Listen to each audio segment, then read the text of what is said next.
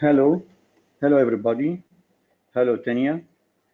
I would like to thank you for your effort and also thank Corel Corporation for this webinar. And I wish it useful for everybody. Also, please forgive me if there is uh, linguistic mistakes because uh, English is not my mother tongue. Today, I will explain a simple way to use a photo reference as inspiration to create a pencil portrait illustration. I would like to make clear, I will not draw a personal portrait for purpose to display the same likeness of person. My objective is not to take a snapshot from photo reference, but I will build a spatial proportions and bring them and then bring uh, facial features and shadows from reference. Uh, there, there are many books in library learning how to draw portraits. I will use the same technique with some differences belong to me. I use it to create a character design or illustration. Our web consists of two parts. The first is how to build a guidelines in my way. And the second is drawing facial features. The guidelines help us to keep the right dimension between facial elements to prevent distortion on image or on face. In this webinar, the space between eyes is very important. So I will use it as a major unit to build everything. I will show you what I mean.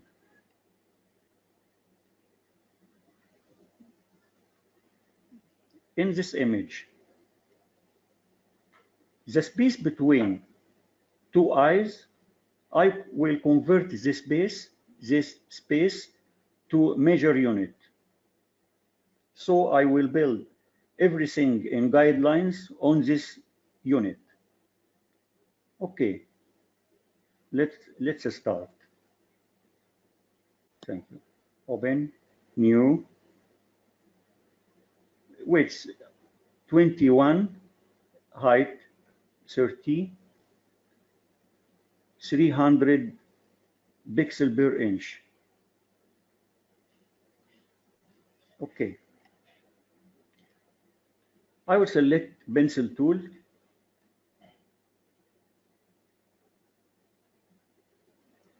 Select pencil tool. And I will show you where the place in menu, Real 2B pencil. Okay. I will pick a gray color from mixer, change opacity to 50 percent and brush size to 20 and make sure it freehand strokes. I will not change anything else. During paint process, I will change the opacity from keyboard numbers. For example, one equal 10%, two equal 20%, and so on until zero equal one 1000 percent. Okay. I will draw horizontal line in the middle of the in the middle of the page. Create new layer. I will press two, press two.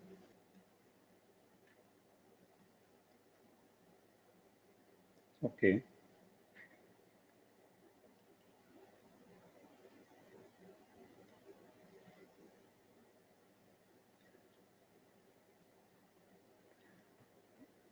To define the width of beige, or sorry, to define the width of face, I will divide it horizontal line into five equal parts. That depending on my sense.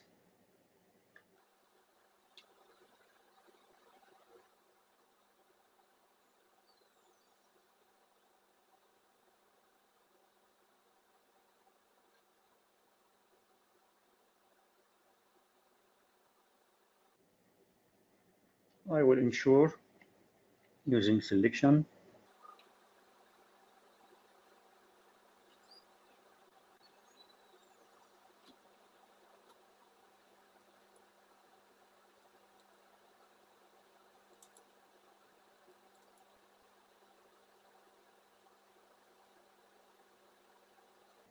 Okay. I will save.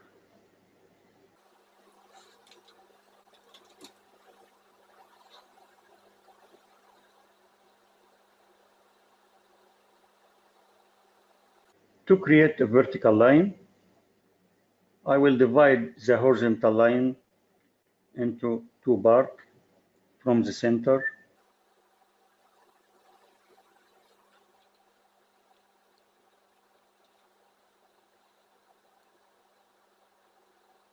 I will divide the vertical line into eight parts.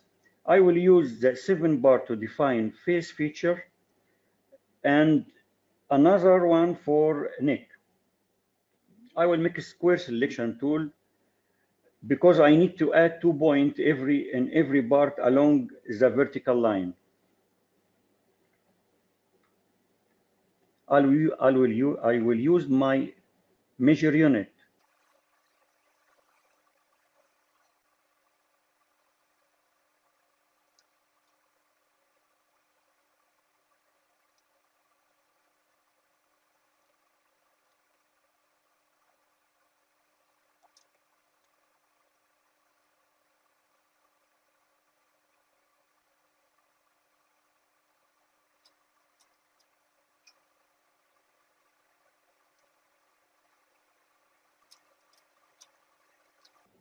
Okay.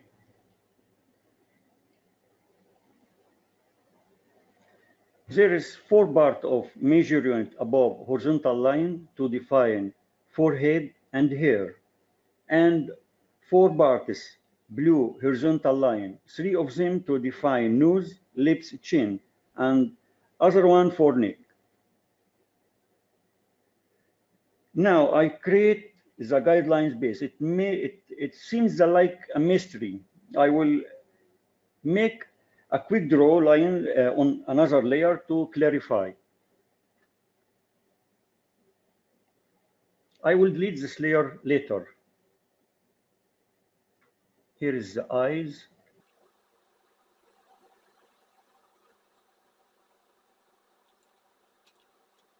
Here is nose lips, and chin. Quick layer. Okay. How to how to locate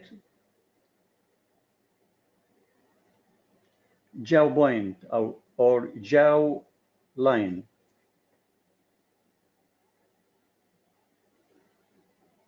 I will extend a line from point of right eyes here down to cross with lips line.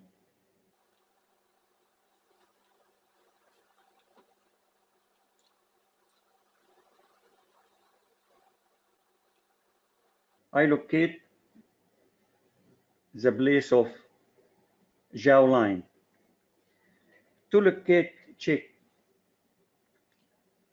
I will divide this part into two parts in half.